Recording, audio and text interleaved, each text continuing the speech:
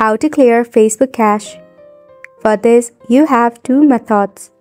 First step, open up your phone setting. Scroll down until you see the option of apps and tap on it. Select all apps. From here, you have to go ahead and search for Facebook. Tap on it. Force stop your application. Then head to storage and cache.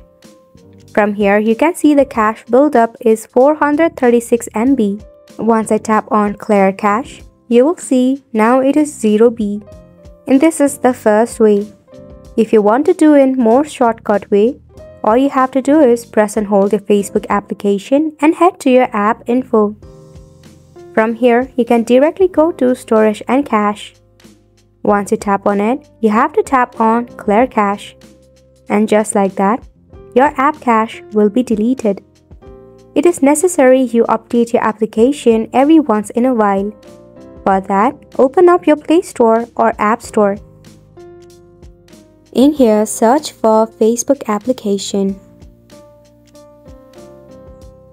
and tap on it.